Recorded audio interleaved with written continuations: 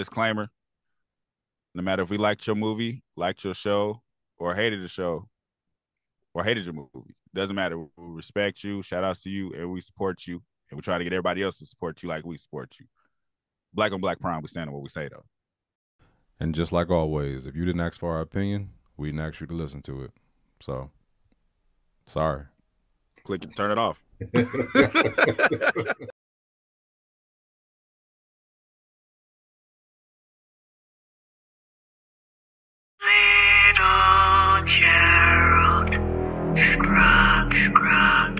But it's just a made up story. Dove.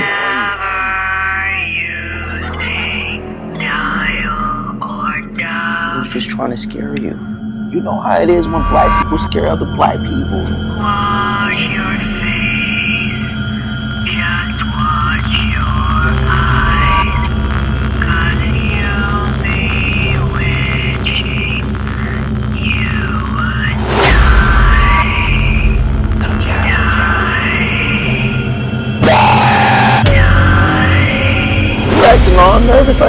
Believe this shit or something.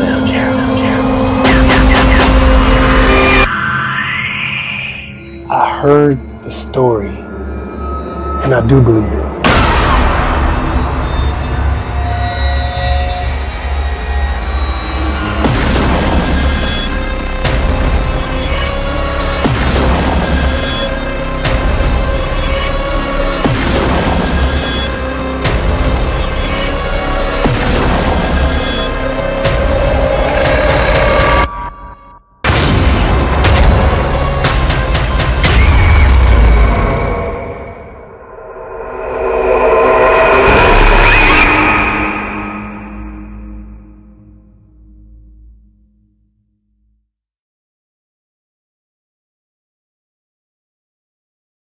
Yo What up?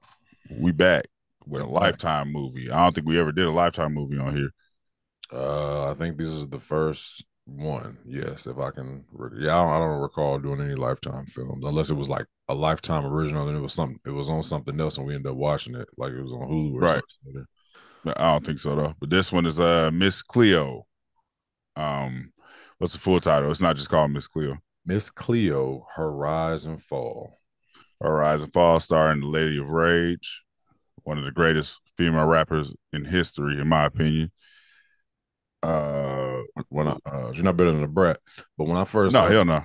But they, but heard- it's two different, it's two different rappers though. You ain't gonna just breeze past that, my nigga. Uh, She's still okay. a beast. She's That's still a beast. she was she, she, she, she did be spitting. The Brat a stopped spitting. beast. The Brat stopped spitting. She kept on spitting. So uh, Yeah, yeah, it is uh Lady of Rage. The only last too the What'd you say? um barbecue chicken. Oh, I did. Lady of Rage. Uh, I feel like she ain't played in nothing since uh Baby D, or am I tripping? Or she played? Nah, she was Baby D, Steve Harvey show. What else did I see her in? though? I seen her in something else. I just can't remember it. I feel like Baby D was after Steve Harvey show. You think so? I feel like Steve Harvey came out like I, I, I know like was that was that Friday after next? It was the next Friday. Next Friday came out early 2000. So yeah, it, it might be either written around the same time or a little bit before. I don't remember, but Right. Um, It's pretty much the same character though, so it don't really matter. um, um, yeah. So Lady of I seen her in something else, man. When I I first don't seen her playing this, I was just like, I really feel like they just got her because she looked like Miss Cleo. I mean, I want to say, I, oh, okay. I seen her in uh, Ride. I seen her in a bunch of stuff, seen her on Ride. Uh, but she pretty much always played the same person. But it was one thing she was in. She was somebody different. She played in Judas and the Black Messiah as a Lady Panther, which I can't recall who she was in Judas and the Black Messiah because I definitely saw that movie, but I don't remember her in it. So she probably was just like background. I watched the movie once because it was heartbreaking, so I, I couldn't I couldn't even recall.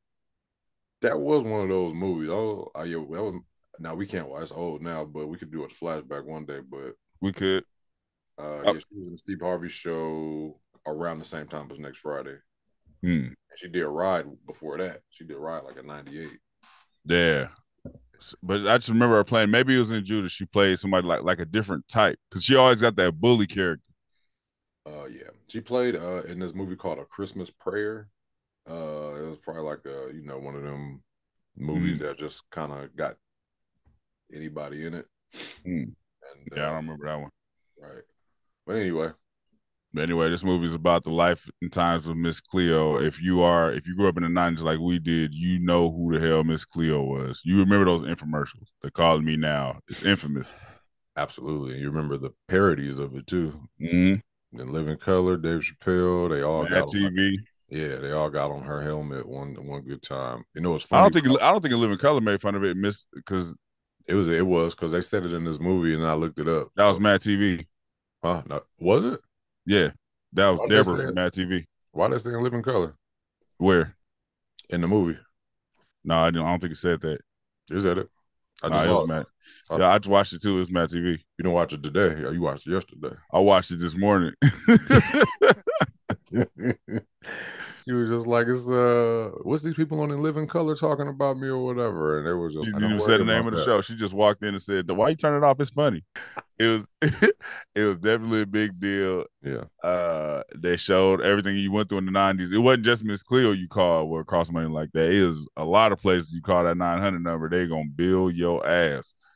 Yeah. I never. I always thought that shit was a joke when I was a kid. I didn't think it was real. I thought, you know, it was just like TV. You know what I mean? You remember Mhm. '90s TV? It was just like all like the talk shows, like Jenny Jones and Maury and Jeff uh, Jerry Springer. I thought all of that was like just entertainment TV, and Mhm. it, and when I seen you like commercials like that, infomercials, like all this, it didn't even seem real.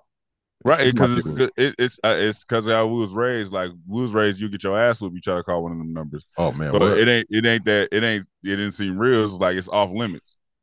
yeah, yeah, Because you remember a late night BET, because we had BET Uncut, but then there goes a commercial and they had a the girls talking sexy, like, Are you lonely? yeah. Call this number. They be laughing in the bed and shit. You like, hey, you would get your ass beat trying to dial one of them numbers. Absolutely. Like I, I got in trouble one time and I wasn't even like super young, but I'm thinking, you know, if I buy a little, if I get a little movie off a pay per view, it's probably just gonna slide under the radar. It's only three ninety nine. You know what I mean? My mom ain't gonna be looking for what's on That the phone. that shit was twenty dollars, nigga. And she was just like, I saw you got your little movie. I'm like, what the? like it wasn't no porno, but it was like you know what I mean, a little pay per view film or whatever. Like probably a movie that just came out. She was like, I saw you got your mm-hmm. little movie. no, we always had the black box. It was always free. Our pay per view. Yeah, But it, yeah, so so I mean they they pretty much touched on everything in the nineties, and then they showed how she came from being a scammer to basically being one of the greatest scammers in the world. yeah, they start they start off with showing in her life. I guess she scammed like this little company, this little stage company on a play, doing the Cleo took- character. Right, exactly. Like so she made up the Cleo character, but Mhm. it's just like that uh I don't know what kind of company it was. I thought it was like some type of acting situation or a play that they had Mhm. going on. And she They said it was like a little a little theater. Because remember the lady was like, "We're a small theater. You know, this is how we Right. get paid." So I guess you just scammed them out of. I guess they got grant money for the play.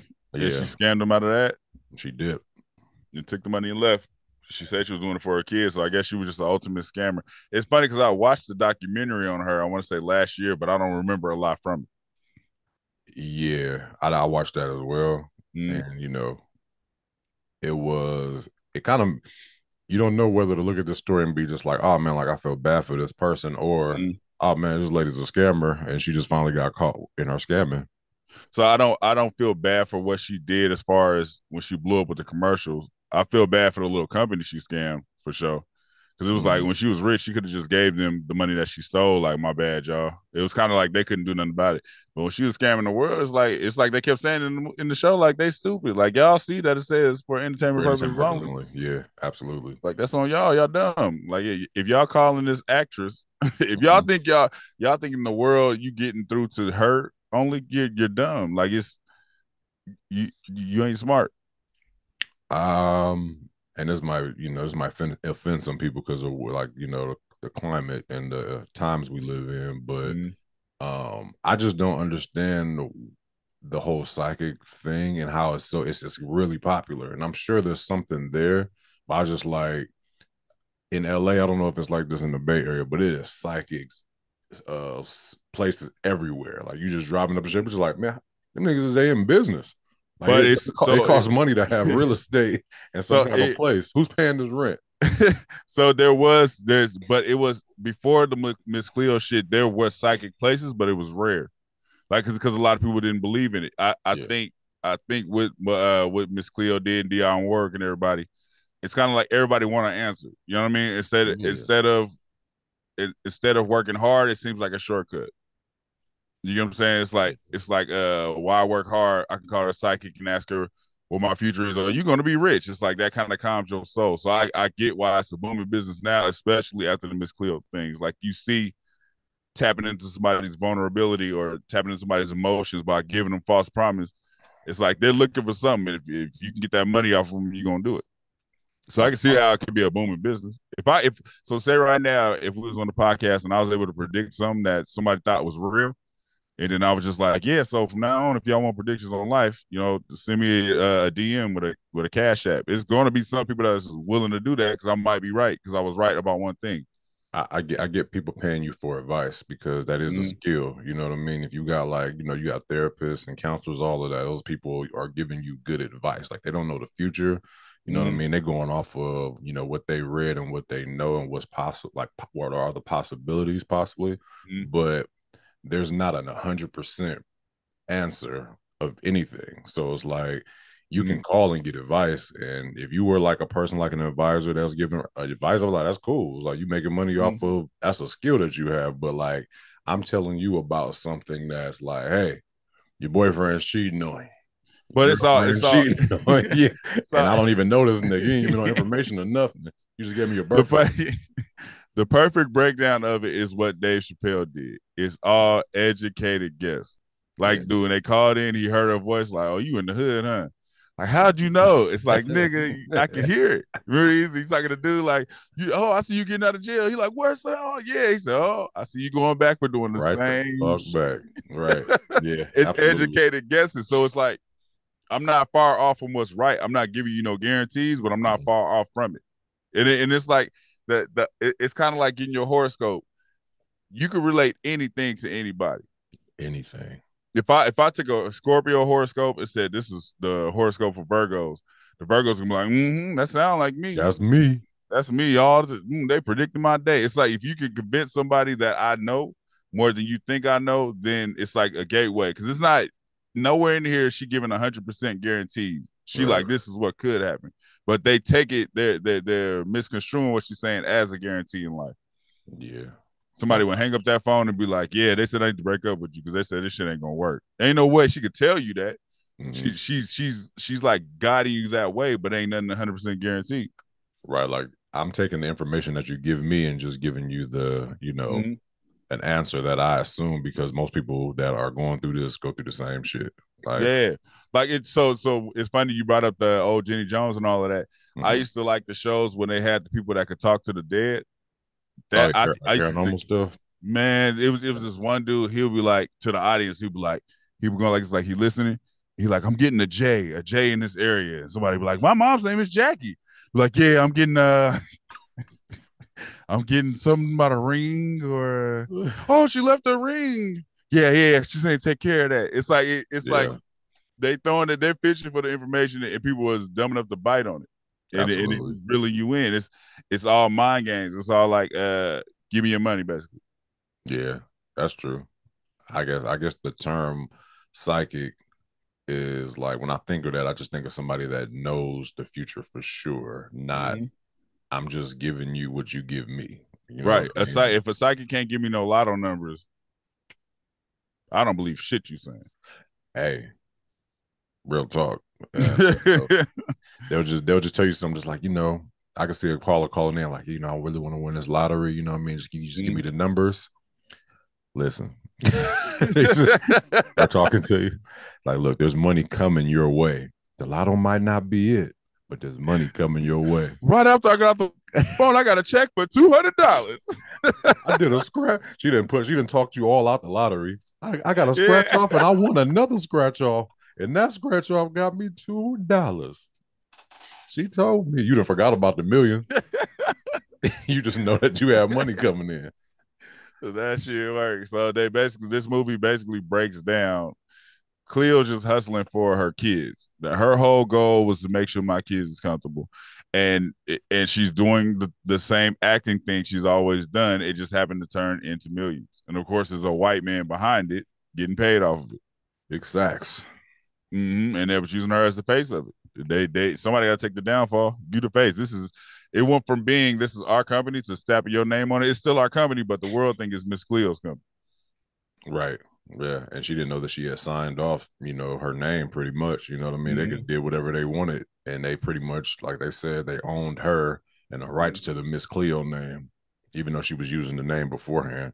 Right. Um, you know what this movie made me think of? Just like in life, like how how it's so big right now to like to go viral. You know what I mean? It's just like you put it's like if you put some whatever you put out, you gotta be careful because there's a possibility that you can go viral from that, and that's gotta be you now. You, know what I mean? So it's just like you go in there just joking or whatever. People like, oh my, he funny. You know what I mean? Now you Mhm. a comedian. You know Yeah. what I mean? Like I was, it's just like you didn't even know it. You know what I mean? Before you knew it, you was like, I didn't even know I was gonna be a comedian. But you went viral off of being a comedian. It could it could go good for you, and it can go bad. And I think that's not what a lot of people you don't see that a lot because there's so Mhm. so much information coming and coming and going at you. So many people that are new. So it's like you see the people that did make it off Yeah. of uh, going viral. But what about those Mhm. people that went viral that you never saw again? Right. It's and then millions when of you them. do see them again, they were trying to see It's millions of them. It's like it's like when you do see them again, they're trying to attach to that moment again. Yeah, and it's a and it, it, it, that should be looking terrible. Like, uh, dude is a good dancer, but dude that blew up off the, the shit with Gilly when he was doing the thing, everybody thought it was Gilly. You know what I'm talking about? I'm about the uh Junebug joint. Yeah. Yeah, yeah. So he blew up off of that, and he Mhm. ran with that shit for a year. He milked the shit out of it, which, as he should have. he did. And then he kind of disappeared, and then I like saw a video later where he's trying to do that dance again. I'm like, it's over, but it's like, how do you recapture that moment? that was two years ago, bro. Yeah. And How do you like- recapture that moment? Like uh like Shiggy. Shiggy be getting lucky as fuck. Yeah. He- like- that nigga popped up out of nowhere recently again. yeah, because the, the Kiki shit blew him up. But then after that, it was just like, damn, he can't. It's like you see him reaching for it. It's like, how do you recreate? I, I think that's what sucks about going viral. If you it's different going it- it's different going viral with something you can repeat. Like if you go ro- Right. viral as a rapper uh, or that nigga bars, you could Uh-huh. kind of almost touch that if you stay creative. Mm-hmm. But nigga, I did a dance on side of a car doing the Kiki dance. I can't now do another dance for somebody else's song because they're gonna be like, oh, this nigga's reaching. Like, we don't want to see this. Yeah, and it's gonna be another nigga that do a viral dance. You know what I Right. mean? It's like Because like going- like I said, even with Junebug, that nigga can just dance. So, so Yeah. I seen more videos after that where he's doing dances with other people, but it's like you're not gonna get that one again. That's Yeah. that's not gonna happen again. It's not gonna blow up as big. And it's like I feel like in this, it just lets you know it's like, man, she probably didn't want to do that Miss Cleo thing. She was just trying to get some paper and it got big. And now, Mhm. like, you know, I feel like her story is is only sad because she had to pretty much push that character in order to make money, in order to support Mhm. her family. And then, you know, she ends up with pretty much nothing. Like she was rich for a little while. She had her like 15 minutes of fame kind of thing. And then she had to move far away and dip off into I, I think her when I was watching the documentary, she was somewhere like she had had a whole new life. You know what I Yeah, mean? yeah. It was, it's like Under a new different person, name. Yeah. Because she couldn't be that person no more. You know what I mean? I'm Mhm. sure she like she probably hated when people came up to her like, Miss Cleo. like, you, cover? It's like, no. It's not niggas is calling me now. Niggas will make a Call whole me now. Head ass. Like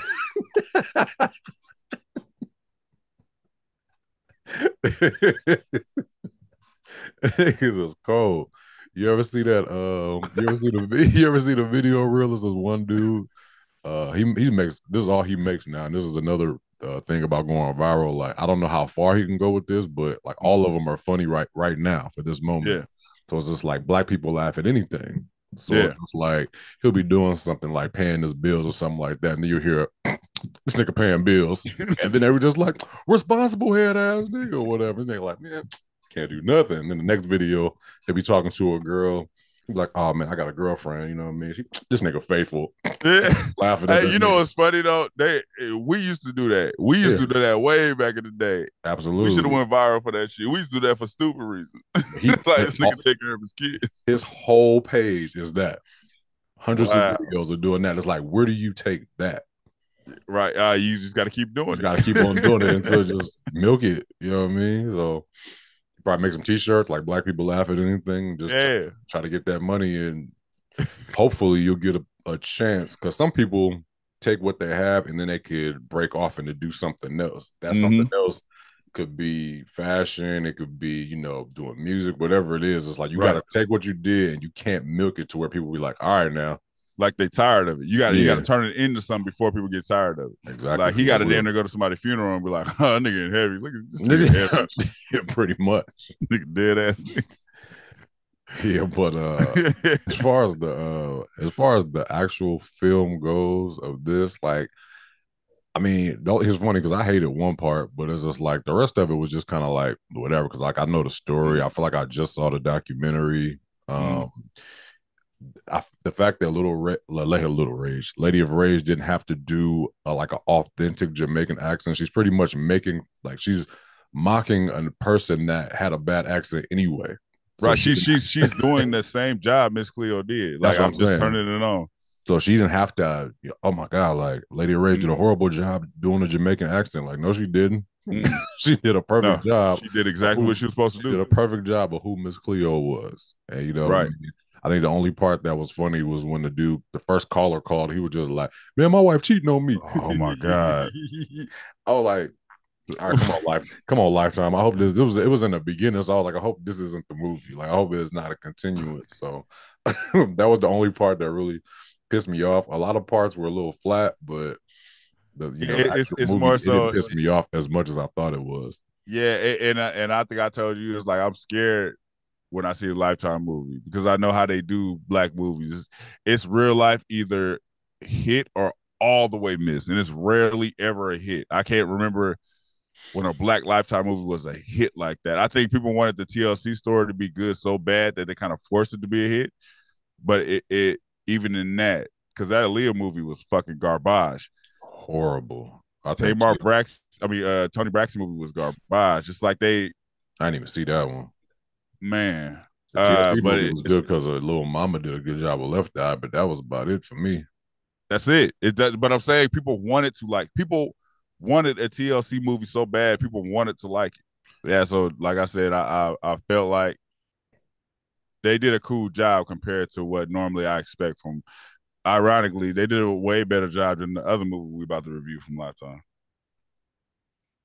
Huh? No, I was playing. Uh, yeah, th- you know what's funny is this movie was like I, I was like you know peeping it out or whatever, and it was like I didn't get upset at none of the actors. It was Mhm. it seemed like it was cool. It seemed like it had some some vets in there.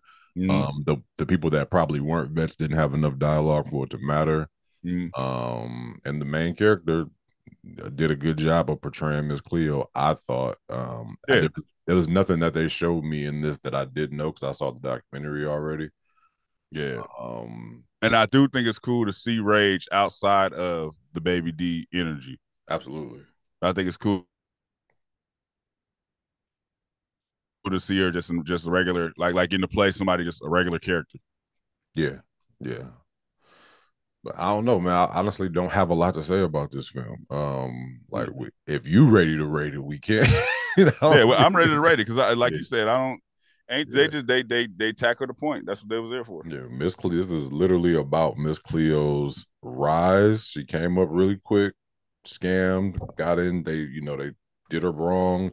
She had lawsuits on her because everybody was, you know, upset that Mhm. whatever the case was. I think it was they kept them on the phone so long and they didn't think that the calls were going to be that expensive, and then they ended Yeah. up getting charged and you know, it was lawsuits on her, and then people were mad because they didn't think she was an actual psychic. I'm like, man, y'all need to get a life, man. Come on, Get man. The, get it the God- fucking together. Goddamn well, she wasn't no psychic, man.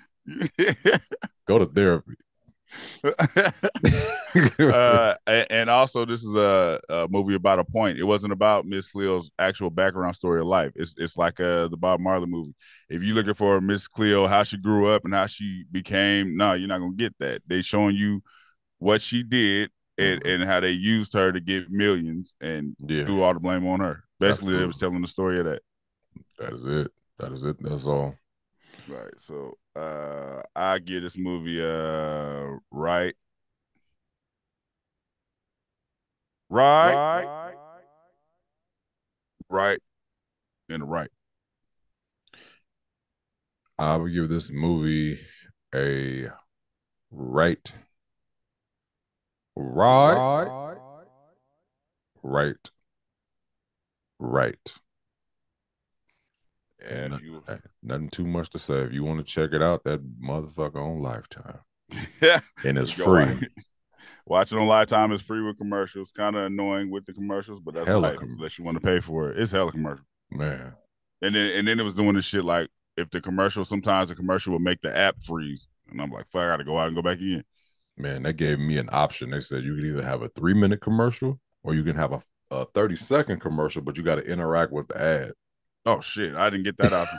so I'll, I'll interacting with the ad every five minutes. I'm sitting there just like, I did not get that. But anyways, man, like, share, subscribe, talk us, talk back wherever. If you there, let us know below how y'all felt about the movie, and if you caught that nine hundred dollar uh, number and got your ass whooped.